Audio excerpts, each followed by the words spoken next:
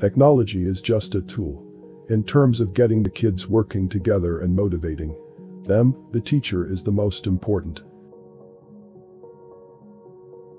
Until we're educating every kid in a fantastic way, until every inner city is cleaned up, there is no shortage of things to do.